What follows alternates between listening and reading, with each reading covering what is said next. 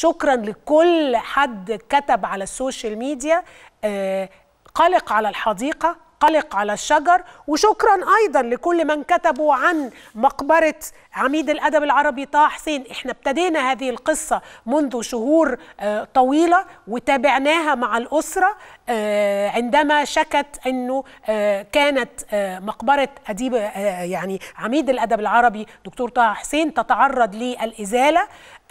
والفترة الأخرانية كان في تصاعد في الأحداث وكان في علامة X وكلمة إزالة على المقبرة والحقيقة أنه أسرة آه، عميد الأدب العربي كانت على ال social media وكان في دعم كبير من كل المثقفين دعم كبير من آه، آه، يعني المهتمين بالتراث والمهتمين بالأدب والمهتمين بحقيقة مصر وحضارتها وتاريختها ودي الشجرة يعني هنا آه، آه، مها آه، أعتقد آه، مها عون آه، يعني ابنة حفيد حفيدة الدكتور طه حسين كتبت أنه هذه هي الشجرة التي زرعتها جدتي سوزان زوجة طه حسين ولم تكن تعرف أن هذه الشجرة لن يتم ريها من جديد.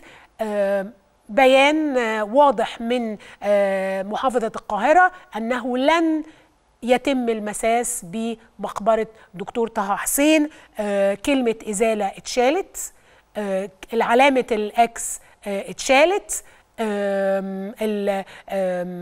وبيان واضح من محافظة القاهرة بأنه لن يتم الاقتراب من مقبرة عميد الأدب العربي دكتور طه حسين. الأسرة قالت أنها هتجيب حد من المقاولين يعني يوضب هذه المقبرة.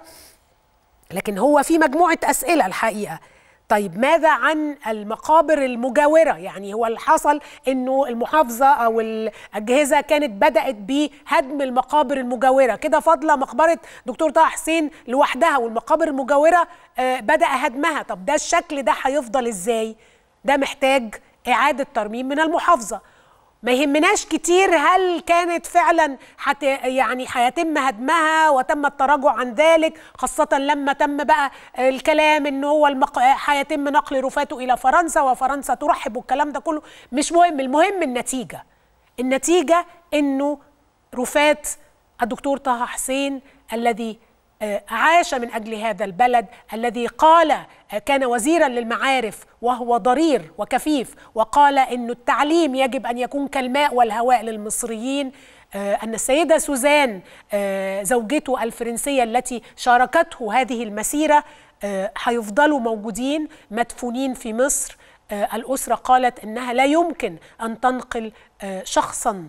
أراد أن يولد ويدفن في هذا البلد وتاخد رفاته وتدفنها في بلد آخر. هذه غربة ما بعدها غربة.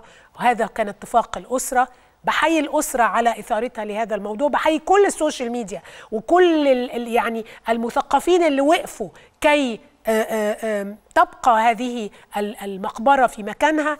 أتمنى أن نتعامل مع مقابر الناس كلها وبالذات مقابر الرموز بكثير من الاحترام والأهم إنه نكلم الناس. نكلم الناس. المحافظه تكلم الناس. يعني الناس دي اتحط عليها إزالة واتشالت الإزالة وقالوا هتتهدم وما اتهدمتش بدون إن حد يرفع سماعة التليفون من المسؤولين أو من محافظة القاهرة يقول لأهل ال- الأهل المتوفي أو أهل المدفون إحنا هنعمل كذا. التواصل الناس. الحكومة بتخدم الناس لازم نكلم الناس. فكرة إنه آه لا تواصل وإنه ده هيحصل وده هيتعمل وده هيعدي من هنا وهنشيل المقبرة طب ليه؟ نكلم الناس نتفاهم مع الناس.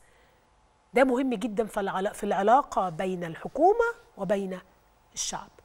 تحية لروح أديب العد... ال- يعني عميد الأدب العربي دكتور طه حسين هذا الرجل الذي أسس يعني التعليم في مصر ويعني واحد من أهم الأدباء والمثقفين ليس في مصر فقط ولكن في العالم أجمع.